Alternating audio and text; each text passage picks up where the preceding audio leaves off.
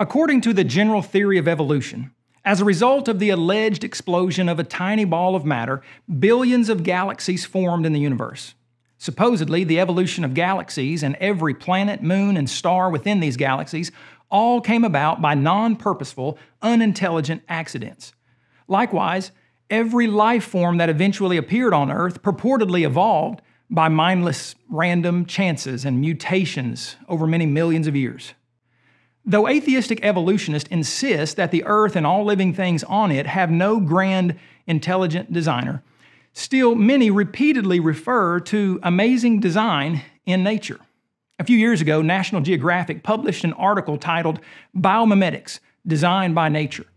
The word design, or one of its derivatives, appeared no less than seven times in the article in reference to nature's designs. The author, Tom Mueller, noted how capillaries between the scales of a thorny devil lizard are evidently designed to guide water toward the lizard's mouth. He then explained how insects offer an embarrassment of design riches Mueller referred to nature's sophistication and clever devices and praised nature for being able to turn simple materials into structures of fantastic complexity, strength, and toughness. Brilliant and well funded scientists around the world admit that living things perform many feats too mysterious and complicated to be able to replicate. Many atheists admit that living things look designed. In his book, Why Darwin Matters, Michael Shermer wrote The design inference comes naturally. The reason people think that a designer created the world is because it looks designed. In his book, Why Evolution is True, Jerry Coyne wrote If anything is true about nature, it is that plants and animals seem intricately and almost perfectly designed for living their lives. Nature resembles a well oiled machine with every species an intricate cog or gear. The more one learns about plants and animals, the more one marvels at how well their designs fit their ways of life. But how can you get design without purpose, intelligence, and deliberate planning?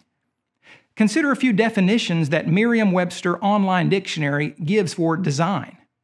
A particular purpose held in view by an individual or group, deliberate purposive planning, a deliberate undercover project or scheme.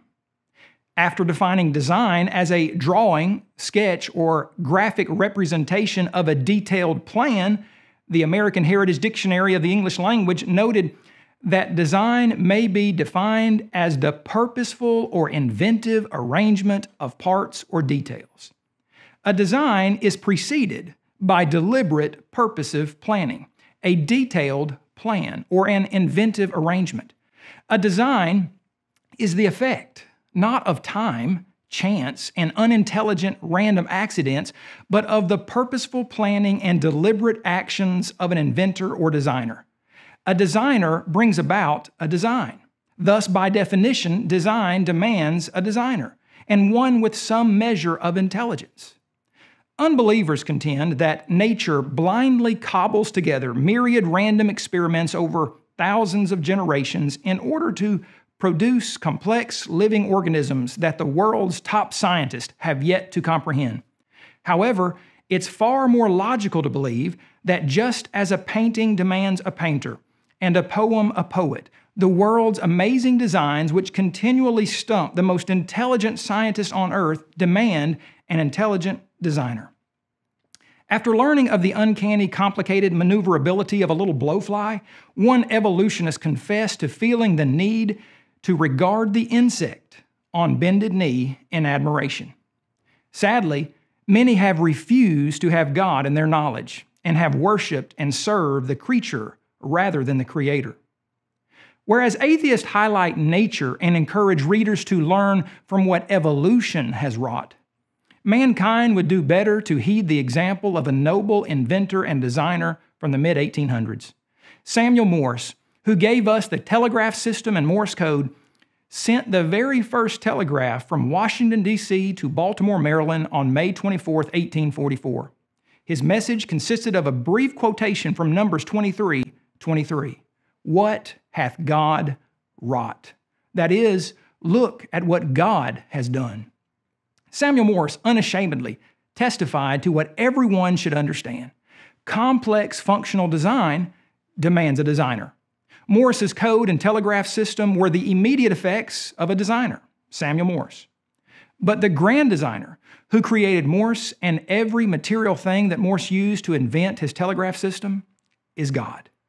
For every house is built by someone, but he who built all things is God. Samuel Morse recognized this marvelous, self evident truth. Should we not logically acknowledge it as well?